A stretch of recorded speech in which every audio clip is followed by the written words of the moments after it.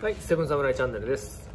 えー今日なんですけど、えーサイドのボールスクリーンが、えー頻繁に出てきてるんで、ちょっとそこの話をしようかなと思ってます。えーサイドボールスクリーン。サイドボールスクリーンって、あのまあ、ウィング、ウィングサイドの、えー選手にボールが渡った時に、えーそこにスクリーナー、えーまあ、ポストのあたりにいるかもしれないし、えーひょっとしたら、えートップねトップ、えースリーポイントの外のあたりのトップから、えーポストが、えーね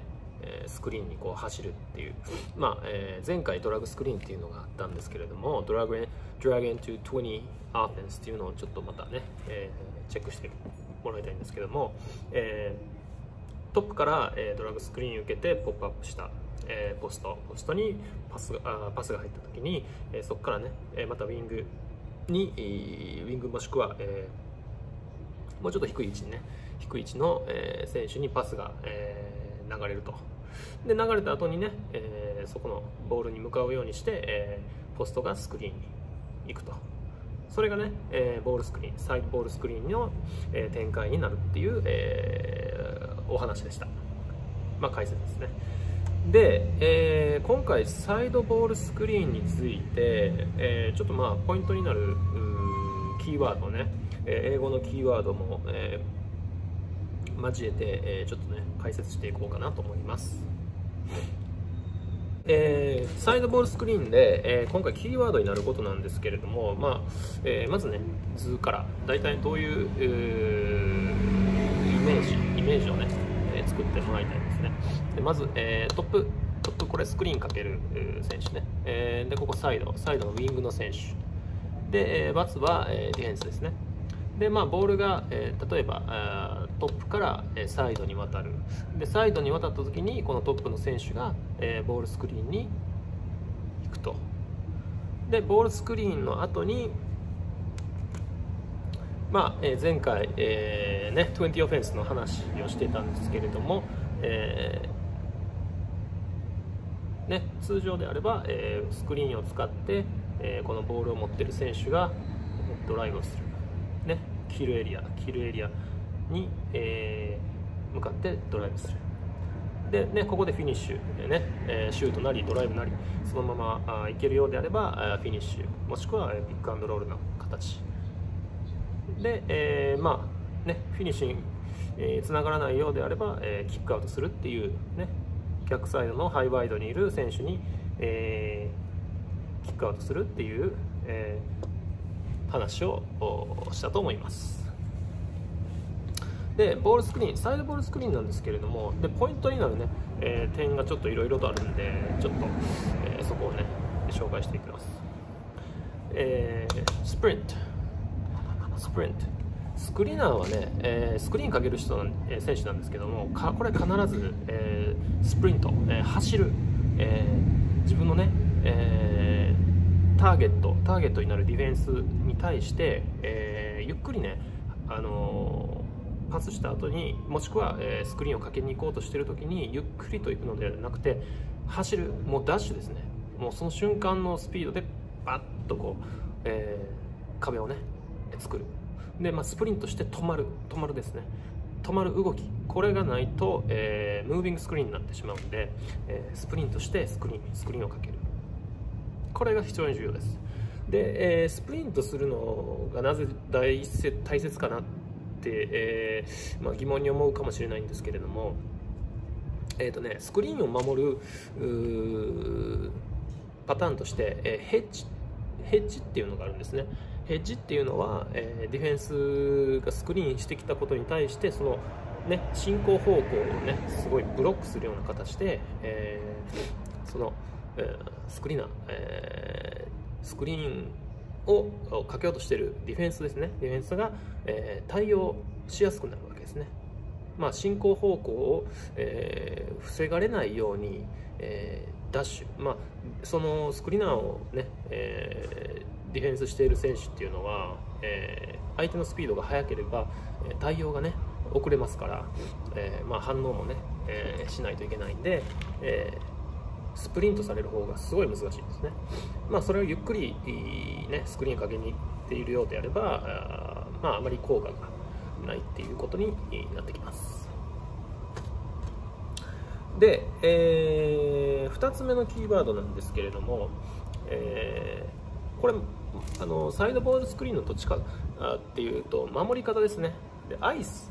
アイスっていう、えー、ディフェンス、えー、の、まあ、スクリーナー、えー、ボールスクリーンの守り方があるんですけれども、えー、NBA でも結構ね、えー、紹介されてると思います。アイスっていうのは、えー、ディフェンスのね、えー、ポジション。ポジションが、えーまあえー、この図を見てお分かりの通りなんですけれどもここのボールを持っている選手に対するディフェンス。まあね通常であればここをファイトオーバーする、えー、もしくはアンダーに行くとかまあね、えー、そうそういったスクリーンの守り方もあるんですけれどもアイスっていうアイスっていう守り方っていうのは、えー、ここのねボールスクリーンが来るっていうことをまあ予期している、えー、まあ、おそらくここにここのスクリーンを使って、えー、こうカットしてくるだろうということを、まあ、予期した上で、えー、こういう位置ですね。もうあらかじめ進行方向ドリブルする方向を塞いでしまうっていうような、えポジショニングを取ります。で、えここの、ね、スクリーナーに対してのディフェンスですが、えー、ビッグマンは、えー、こここっちにねドライブ抜かれないようにちょっと下がり気味下がり気味で、え、ここねこのボールを持ってる選手ボールを持ってる選手の進行方向こっちをね、え、ま、え、もともと、このボールを守っている選手が、えー、トップにいるのでこの位置に守っているので、えー、ここねカットされないように、えー、配置すると。いうことですね。で、えー、まあこのポイントアイスっていうディフェンスはよくあのー、まあ、ボールスクリーンに対しては、えー、すごいね、えー、効果的に、えー、使われていますけれどもここで、えー、ボールスクリーンどう対応していいかっていうのが、えー、次のねこの3点目ベースライン。ベースラインっていうのが、えー、キーワードになってつまり、えーまあ、アイスアイスの体型を取られた場合にボールを持ってる選手はどう次対応したらいいか。これはね、えー、ここのねビッグマンビッグマン、まあ、確かにスペース取るんですけれども、えー、このねドライブのねスピードを生かしてまあ、えー、このベースラインをねドライブしていくっていうのをまず、えー、焦らずに心がけてほしいですね。ね、ベースライン、えー、ショードルとショードルね、えー、以前も解説したかもしれないんですけれども、肩、肩とね、膝をアラインさせて、えー、スクリーン、スクリーナーの、えー、横をかいくぐっていくと。で、まあ、ここドライブ、ベースラインドライブすることによって、えー、アイスの、えー、突破口につながります。まあ、ドライブするということは、えーまあ、ここの、ね、スクリーナーのディフェンスであった選手っていうのはそれに追,、えー、追随していかないといけない、えまあ、そこでね簡単にシュートを狙わせてはいけないので、えー、ついてくると思いますそうするとねここのスクリーンボールスクリーンした選手がすごい、えー、次の一手というのが大事になってきます。そして4点目。それが、えー、ハイポストね。ハイポストエリアね。ハイポストエリアにカットすると。そうするとねアイスで、えー、飛び出していた選手っていうのはこの選手を警戒することになりますけれども、えー、後手になってしまう。また、えーと、ビッグマンに対して、えーとね、小柄な選手になることも多いので、えー、後手になってしまいます。でこの位置でね、えー、このドライブした選手からボールをね受けることができればここもまたキルエリアキルエリアで、えー、シュートを狙えるという、え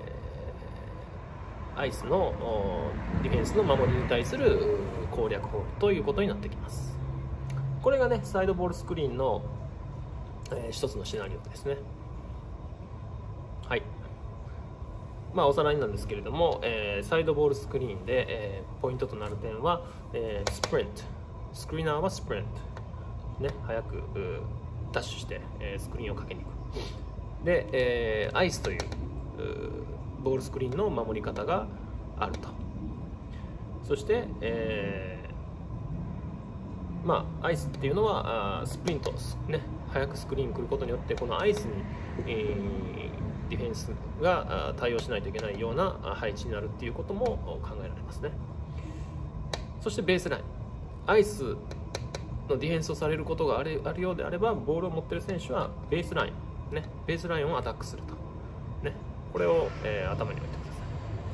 ベースラインアタックすることができたら、え、次ねえスクリーンをかけたポストはえハイコストの、えまあ、キルエリアですね。キルエリアでえシュートを狙うというのがあボールスクリーンのミソとなるところですね。ポイントですね。はい、えー、21オフェンスでも、えー、頻繁にこのボールスクリーンねサイドボールスクリーンっていう、えー、話が出てきたんですけれども、えー、これね非常にいろんな場面でね、えー、出てきますんでねサイドボールスクリーンっていうものをまあ今一つ極められるように、えー、ぜひ、えー、ね、いろんなディフェンスに対しても対応できるように、まあ、